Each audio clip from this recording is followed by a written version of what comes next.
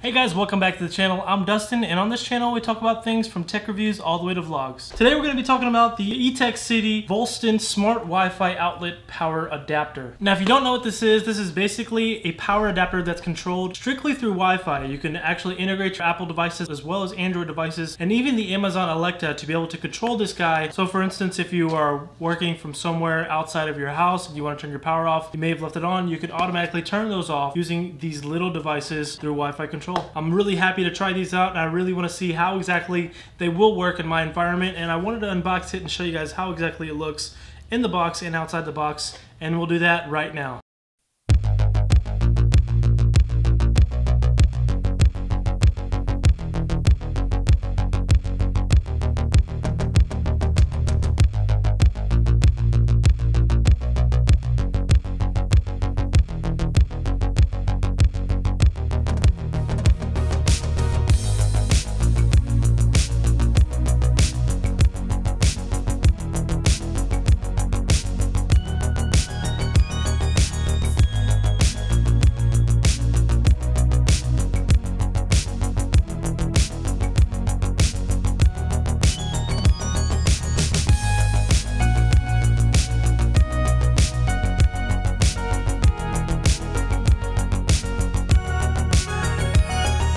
Alright guys, so we have the two Etekcity Voltson smart Wi-Fi adapters. All we have to do now is pretty much plug them in and see if we can get them integrated with the application using Wi-Fi. If you didn't notice, it actually came with this very tiny yet very simple user manual on how to do all of these setups.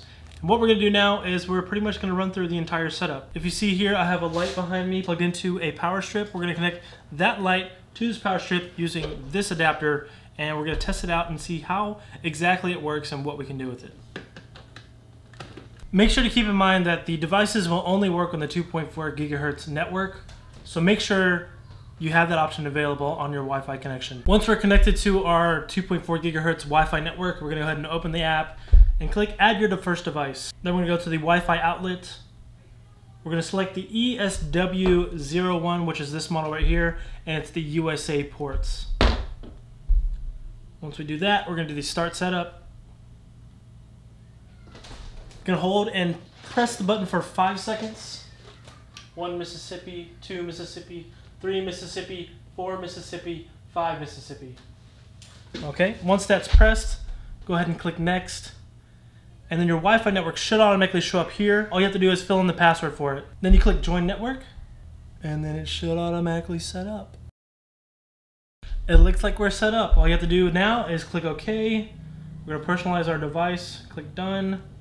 All right, our device is now on. We're gonna go ahead and plug in our light and test out the connection there.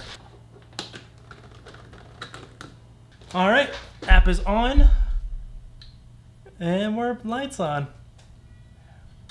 Light off, light on, light off, light on, light off, light on.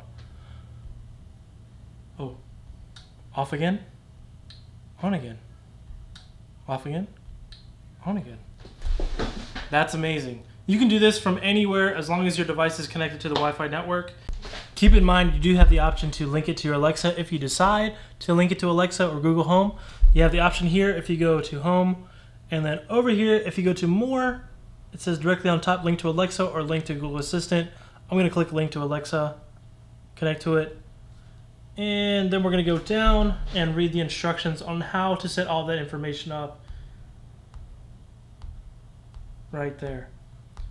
So we'll basically go into our Alexa app. Using the Alexa app, you look for the skill VeSync, which is the same application here, and you log in using that information.